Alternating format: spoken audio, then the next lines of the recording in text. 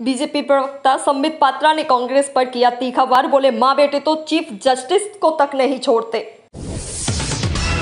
कांग्रेस का केंद्र पर आरोप, जवानों की पेंशन काट कर सेना का मनोबल गिरा रही मोदी सरकार। केंद्र सरकार ने कुछ शर्तों के साथ विश्वविद्यालय और कॉलेजों को फिर से खोलने की दी अनुमति।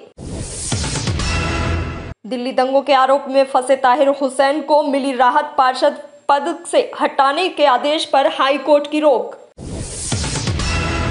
बंगाल में अमित शाह दीदी पर तीखेवार तुष्टिकरण की राजनीति ने पश्चिम बंगाल की परंपरा को चोट पहुंचाई है।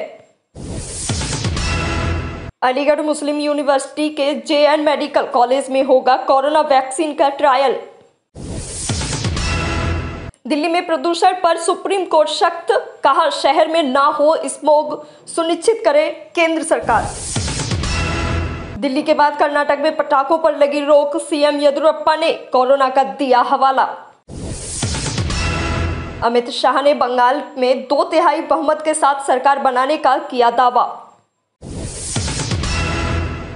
संयुक्त राष्ट्र की सलाहकार ने नरेगा को बताया हाल के दिनों में भारत की बड़ी सफलता।